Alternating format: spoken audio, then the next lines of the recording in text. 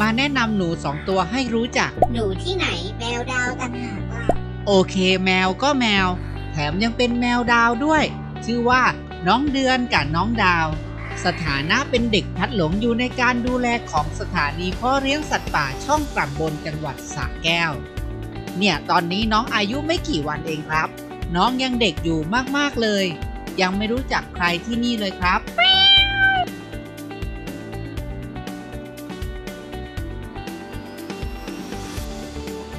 อืม ขนาดไม่รู้จัก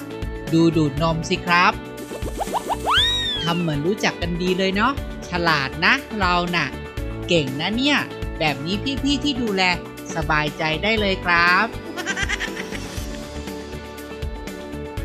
ถือว่าปรับตัวได้เก่งมากเลยนะครับ น้องดวงกับน้องเดือน ไม่มีวี่แววของความเศร้าเลยจริงๆ อาจจะเพราะวัยของเขาที่เด็กมากๆครับ เขาจึงปรับตัวได้ง่ายกว่าสัตว์พัดหลง ในขณะที่รับมาตอนโตแล้วครับ วัยของเด็กเป็นวัยที่พร้อมเล่นตลอดเวลาครับ แถมยังต้องคอยประคบประงมให้ความรักและความอบอุ่นให้กับเขามากกว่าปกติ เพราะร่างกายและจิตใจของเขาเนี่ยยังไม่แข็งแรงหรอกนะ วัยของเด็กตอนนี้จะได้รับการดูแลแบบพิเศษ ชนิดที่ว่าไม่ให้คลาดสายตาเลยครับจะรักอะไรนังหนา เช้ามาก็รัก กลางวันมาก็รักค่ำมาก็รัก รักไม่ดูหน้าไม่ดูสายพันธุ์เลยก็เกิดมาเพื่อโหดเนี่ยเกิดมาเพื่อโหดเนี่ยในขั้นตอนของการดูแล จะมีหมอคอยดูแลอยู่ตลอดนะครับ พี่เลี้ยงเนี่ยจะคอยสังเกต แล้วจะคอยนั่งจดพฤติกรรมในทุกช่วงเวลา ผมเคยบอกในหลาย ๆ คลิปแล้วนะครับว่าสาเหตุที่ต้องจด เพราะประโยชน์ในอนาคตครับ ข้อมูลทางด้านร่างกาย ข้อมูลทางด้านโภชนาการ ข้อมูลเหล่านี้แหละครับ จะถูกรวบรวมไว้เป็นข้อมูล ในการดูแลสัตว์ป่าพัดหลงต่อไป ในกรณีที่เป็นเคสที่คล้ายกันครับ จากวัยแบบบอกเข้าสู่วัยอนุบาล และก็เข้าสู่วัยประถมตามลำดับ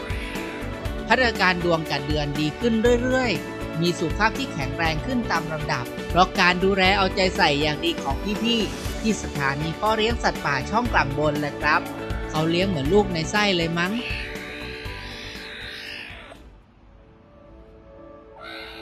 แต่ก็นั่นแหละครับ เขาเป็นสัตว์ป่าพัดหลง ซึ่งสัตว์ป่าอย่างแมวดาวเนี่ย เป็นสัตว์ในพื้นที่ของไทยเราเองนะครับ มีแหล่งกำเนิดชัดเจน พอถึงระยะเวลา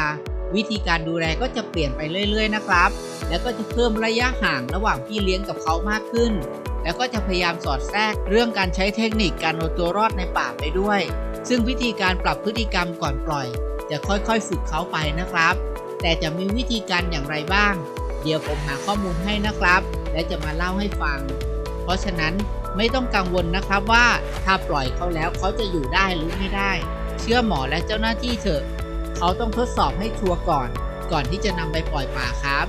แต่ตอนนี้เวลานั้นยังมาไม่ถึงนะครับ เพราะน้องยังเด็กอยู่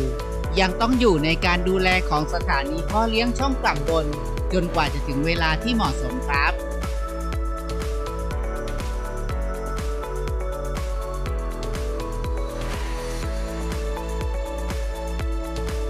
น้องๆ ฝากบอกว่า พี่ๆ ยังมีเวลาดูความน่ารักของน้องไปอีกพักใหญ่เลยนะครับ ฝากส่งกำลังใจให้รวมกับเดือนด้วยนะครับ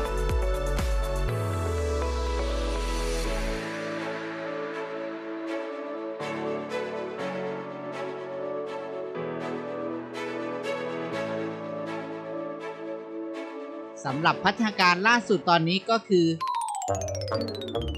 แม่เอาอาหารมายั่วหนูทำไมเนี่ย แม่แม่ปล่อยหนูหน่อยหนูอยากกินอาหารนะแม่ โอ้ยไม่ไหวกินหอมมากมากๆเนื้อผสมกับนมสดของโปรดหนูเลยนะเนี่ย ดูสิครับเขาทำอะไรกัน หนูกำลังเลียหู รู้ไว้นะว่าการ เลียหูก็คือ การแสดงความรักของแมวดาวอย่างหนูไงล่ะ ต้องเลียนานไหม จนกว่ารสชาติเค็มๆมันจะหมดแหละ อ้าว เป็นงั้นไปรักกันเหลือเกิน ขอเชิญเพื่อนๆ ร่วมสนับสนุนการทำงานในโครงการพ่อแม่อุปถัมภ์ด้วยนะครับ จะบริจาคเป็นสิ่งของหรือช่วยค่าใช้จ่ายก็แล้วแต่สะดวกนะครับ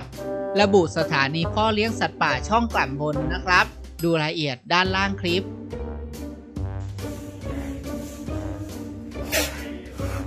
พบเห็นสัตว์ป่าพัดหลงหรือถูกซื้อขาย